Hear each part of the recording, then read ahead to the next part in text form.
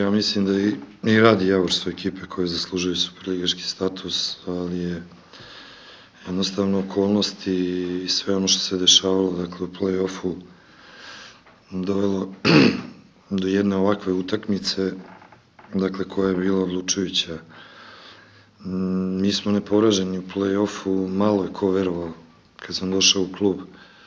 Dakle, pre 13 kola da ovo može da se uradi, živimo i radimo pod vrlo teškim okolnostima, momci su sve ovo izneli, zaključujući sa današnjim danom i ovom preteškom stvarno utakmicom, ona je mogla da ima i drugčiji ishod, imali smo da, ako se ne veram, 66. 67. igrača manje, u tom periodu je naravno Javor imao inicijativu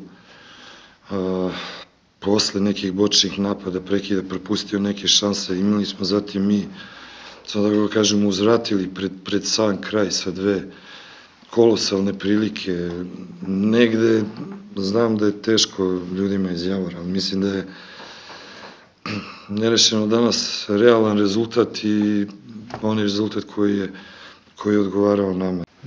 Mi smo u utakmici išli na pobedu, Rad je u prvi 10 minuta ušao bolje, imali su jedan dobar šut Denića i,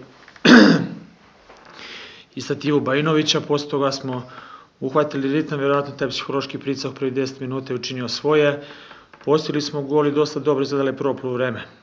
Drugo polovreme, bez izrazite šanse, mislim da je prvi udarac u okvir gola bio gol. Neverovatno da da mi ni jedan gol nismo primili iz prekida u celom prolećnom prvenstvu i sada primimo.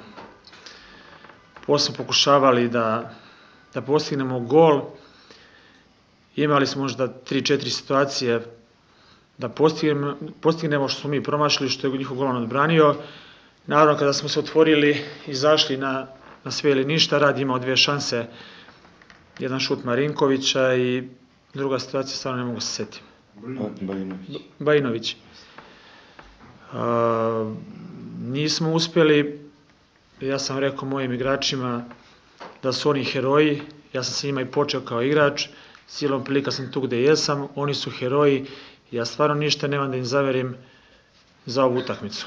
Mislim da su imali pravi odnos, želju, volju, motivaciju, rezultat je izostao. Tokom cele godine imali smo dosta uspona i padova,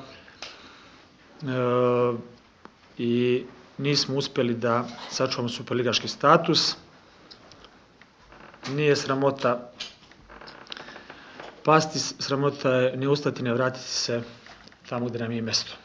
Mislim da klub, igrači, grad zaslužuju superligaša.